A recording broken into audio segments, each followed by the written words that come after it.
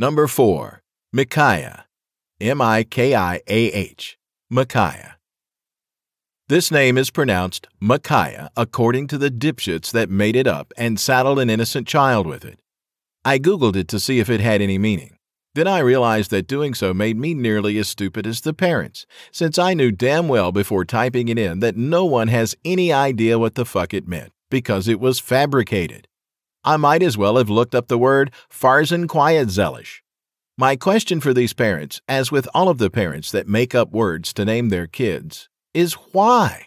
There are millions of names already in existence that don't sound like the scientific name for a large, colorful bird. Why not choose one of those?